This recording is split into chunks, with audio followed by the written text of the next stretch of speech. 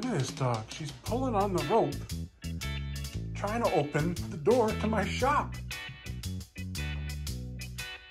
That's unbelievably smart dog. She's so smart. Look at this dog. She's pulling on the rope to get into my shop. I closed the door because she was stealing my slippers. And she's opening, she's opening the door with that rope.